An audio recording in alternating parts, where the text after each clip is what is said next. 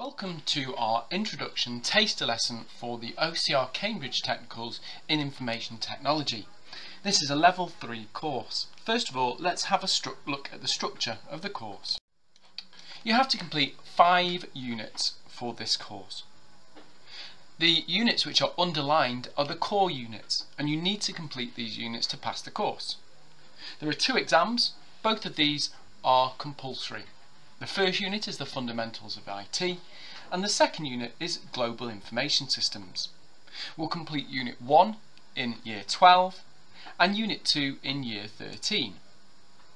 We'll then start with three coursework units which will be done throughout the two years. Application design which is a core unit and then two other units. These will probably be web design and prototyping and game design and prototyping. Because this is a Cambridge technical qualification, the grading is slightly different. It's graded with a pass, merit, distinction and distinction star. A distinction star is the equivalent to an A star at A level. A distinction is the equivalent to an A at A level. A merit is the equivalent to a C at A level and you can see the B and the D sit slightly in between these. There is a chance if you're interested in any of these other topics that you might have the chance to be able to study them.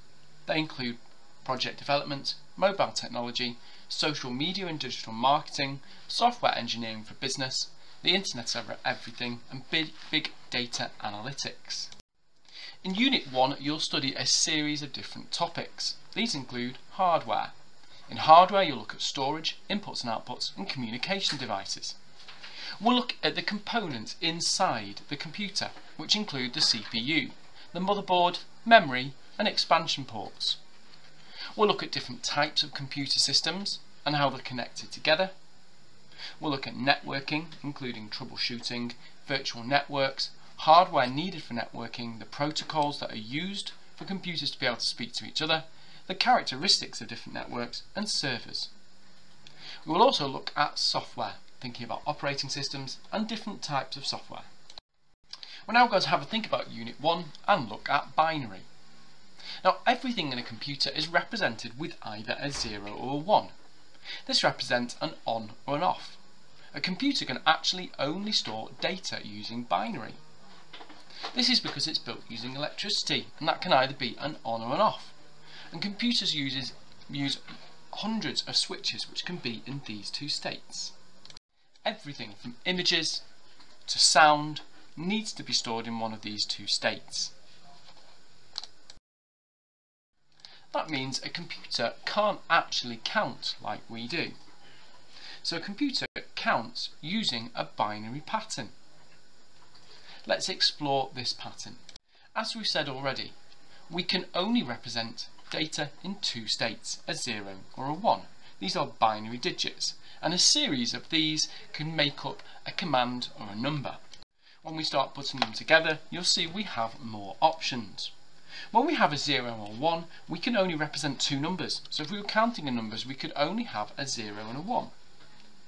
If we were to have two binary digits together, we could actually represent four options. 0, 0, 0, 1, 1, 0, and 1, 1 when we increase that to three binary digits, you can see we start to get more options. So the binary sequence helps us to actually count in binary.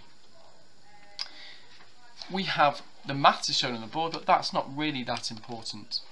We have base 2, 2 because there's two options, a 0 and 1, and the number of these binary digits we have. So if we have three binary digits, like the options you can see on the screen, we could make eight different numbers. Notice how it starts at 0 and not 1. So that means even though it finishes at 7, we have eight different options. If we wanted to make the number 8 though, we'd have to add another binary digit. Let's have a look at how these work. In class, we're going to be trying learning how to use binary with a series of lights. But if you're at home, you can use this game. See if you can make numbers using the lights. I want you to test your skills now in the binary game. Use this link and try seeing if you can remember how to figure out binary. As part of Unit 1, you're going to need to know the different components inside the computer. We're going to open a computer up and have a look and see what it looks like inside. Now Unit 2 is all about data and storage. This is massive in the industry at the moment, looking at big data and how data can be used for advertising, how it can be used for people's trends, and to personalise somebody's experience. This is using something called big data. And we look at information storage, styles of information, the legislation that fits with it, and data flow. The other core unit that you're going to have to complete is mobile app development we're going to be using something called Thunkable.